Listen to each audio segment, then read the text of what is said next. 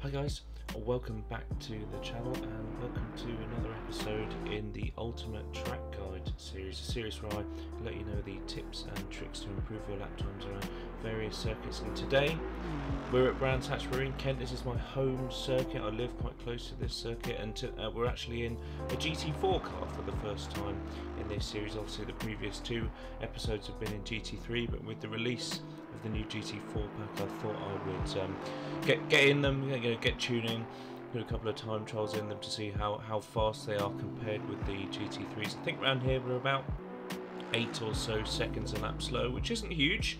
It's quite a quite a small circuit. They're only 2.4 miles, um, only 10 or, 10 or so corners really, but it's very technical. As you'll see when we, we dive into the lap, it's it's an extremely difficult circuit.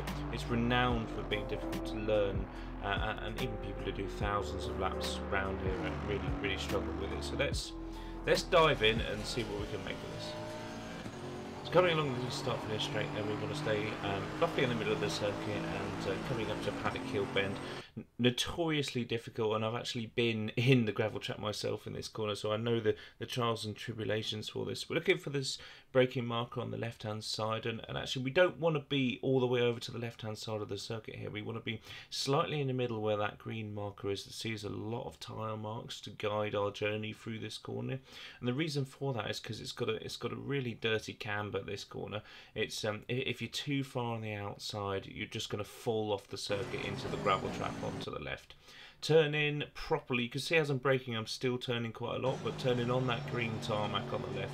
Look for the curb on the inside. You can straddle it slightly, but not too much. Depends what car you are driving, how low it is, etc. And you're looking for this curb on the outside where you can use all of the red and white curving and some of the Astro. Braking up into the hill, two very obvious braking points here.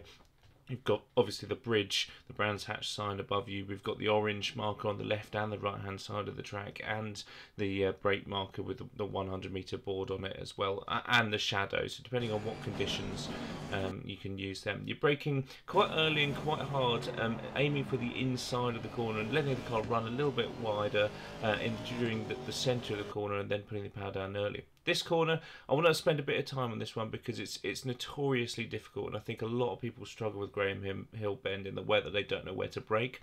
It's got a couple of pointers here for you to look at. We've got the sign on the right hand side. We've got that long curb, which for some reason people assume is the braking point for this corner. But we're actually going to be braking before that brake marker on the right hand side we're going to be braking extremely gently. It's not a full braking zone because you'll just understeer off the track. And then we're going to be changing down one gear. And at the point that you change down that gear, you, you use the momentum of that gear shift to start turning into the corners. You'll, you'll see. So down a gear, now we turn. Aim for the post on the inside. You can take some curve. I took a little bit too much on that lap, but you can take some. And there's a lot of room on the exit. This one, very similar. You've got a 100 meter braking board again. We're going to be actually going past this braking zone before we before we hit the brakes. But this next corner again, it's it's super difficult, and I think along with Graham Bend, Surtees is probably the most difficult corner on on this track because you're kind of in no man's land for a lot of the a lot of the bend. If you go too wide on entry while you might get a, a, great exit on, on the outside, you're going to compromise your time through the corner. Although, if you brake too early and you turn in too early, you're, you're just going to wipe all of your speed off. So, we're sort of in, in no man's land here, and, and we're looking for a point just um, on the inside. You see where those sort of markers are, the, the arrow markers, just to the left of those where I've put the green spot there. We're aiming for a point quite late on, uh, uh as in terms of apexes, but we just need to carry our speed as much as we can. We're off throttle, we're off the brake. We're just rolling through this corner nice and smooth start to get on the power as uh, and if you're not on full power by this point here where you can start to see the exit although it's up that little bit of um, a crest there. If you're not on full power by this point then then you're doing something wrong out here because we need to stay full power all the way over that curve. Make sure you don't go too much on the right there because there's a nasty bump which catches a lot of people out. Um, but if you're not on full throttle by that point then you, you've got a real problem I just wanted to pause it here because we're going to run through the first sector again in full speed. So coming into the first sector, over the line, into sixth gear, looking for the brake marker, not all the way to the left-hand side of the track. Over the crest, turning on the, the Astro on the left-hand side, hook it up on the curve, full power downhill, looking for the Brands Hatch Bridge, braking nice and hard, letting off, trail braking a little bit through here. As soon as you can see the exit, just power as much as you can. You can, you've got a lot of time to correct the oversteer there. Braking early, and we think, using the change down in the car to um, to get the nose of the car stuck in so turning a lot of room on the exit braking after the marker on the right hand side here in no man's land no man's land now we can power on now we can straighten our steering over the curb make sure you get back onto the middle of the circuit and and we're through the extremely technical first um, half of that track. Uh, a lot of people like the overhead view that I did uh, last week, um, so I wanted to just add that in again. So coming up to this corner, you actually you take a relatively early apex. Don't go too wide, and as soon as you can cut back, you don't have to go over the curb. In fact, don't go over the curb because it will spin you around that, that second corner around Druids. Graham Hill Bend, there's a lot of room on exit as you can see there. Uh, this is this is the one I really wanted to focus on. It's all about the exit here, but don't go too wide on entry. That late apex just there, using all of the curb on the outside, but not staying on it, so you, so you get that um, that bobble across, uh, which is just going to it's just going to constrain your speed all the way down this this straight. So I'm going to pause it to see you've got two markers going into Hawthorns here. You've got the furthest brake marker there, the 100 meter board, and you've got this earlier one, the, the 200 meter board. And I actually like to use um, this earlier board, but I know a lot of people like to look at their braking marker as they're braking into it. So and use the second one if you like. It's the braking point's just before it. When you're switching down from sixth into fourth gear, it's quite a quick double shift. And as soon as you see this point on the inside, it's like a little kink in the curb. That's where you should be really getting back on the power. A lot of cars around Brands Hatch use quite a high diff, Excel diff preload, uh, and because of that, you need to get on the power early so you can guide the back end of the car around this corner. You can use a lot more of the exit than I do. You can go all the way over this left hand side curb, which I've highlighted in, in green there, and it doesn't really cost you any time. Again, very technical corner this one. There's a couple of braking points. Uh, you've got the braking mark on the left hand side and this sort of groove on the inside where the tyre markings are. There is obviously that orange. Um, brake marker on on the right hand side there the fencing to, to signify the sort of marshal's post. But actually I find if I'm using that inside if I'm looking to the inside of the corner I, I really struggle to, to, to brake properly. So you need to straight line this corner as much as possible. You can actually use far more on the exit of this corner and you think. You can go all the way past this curb. And while it may well um, just just compromise your exit a little bit it's a it's a godsend if you turn in a little bit too early into into the right hander into Westfields, and um, you've got a lot of room to just straighten out the steering, get the power on nicely. You can still carry some good speed into Dingle Dell and Sheene Curve, which are the next couple of corners. I um I just wanted to watch that from, uh, from above because actually, um, while we feel like we're picking the power up relatively early on this right hander, if you just listen out there, it's it's relatively late in the corner that feels very early. So again, look how much you can cut this and then run out wide and it doesn't compromise your exit. It's, it's absolutely crucial that you, you sort of remember that while you're going around that corner actually.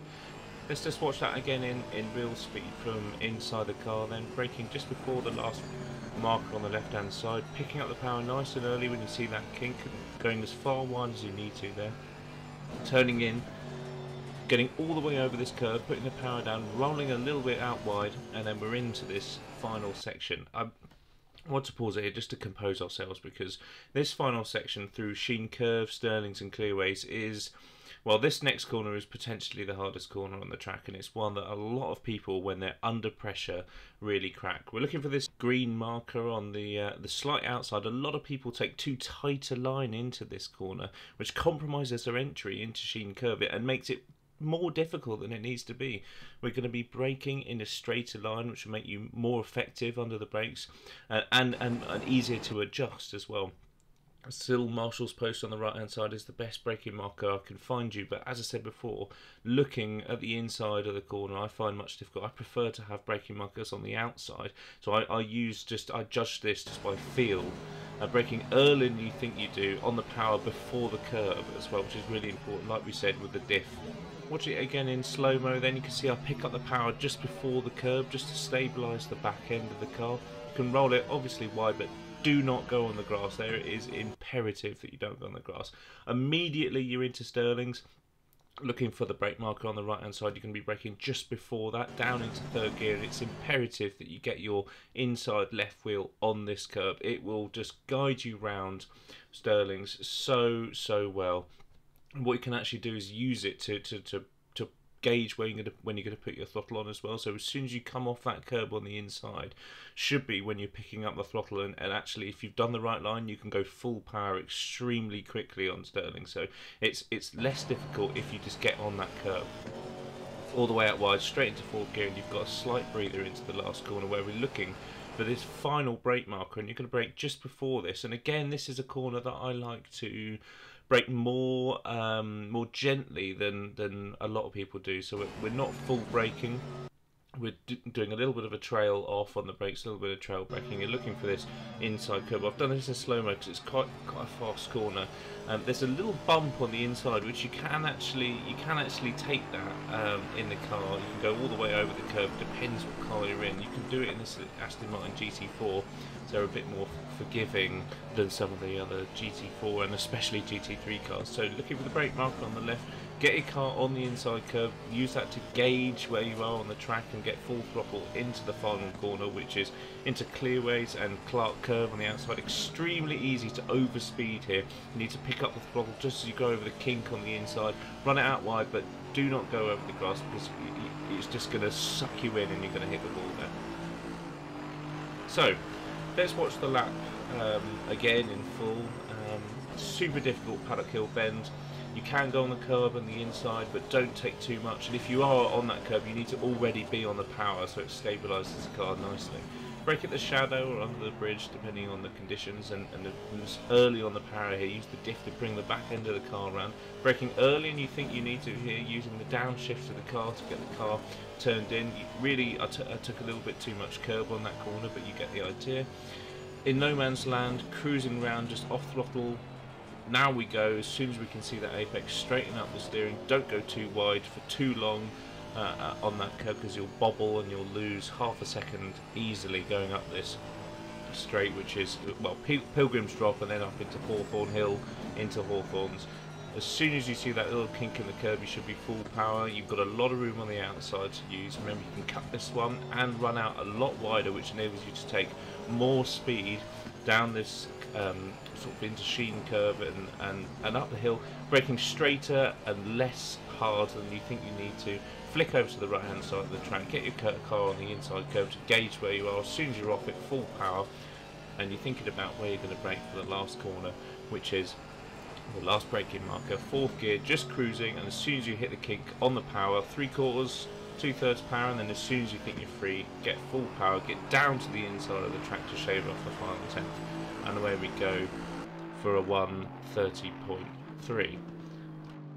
I hope you guys found that useful to drop down into GT4 class for this track guide and obviously let me know in the comments what you thought and any subscriptions and, and shares and likes are very much appreciated. Really, really does help the channel but for the time being I'll shut up and, and uh, let you watch this aerial view lap which a lot of people commented on last week they thought it was a really good addition to the track guide so I'll let you watch this um, make sure you hit that subscribe button and I'll see you guys next week um, for the next track guide. See you later.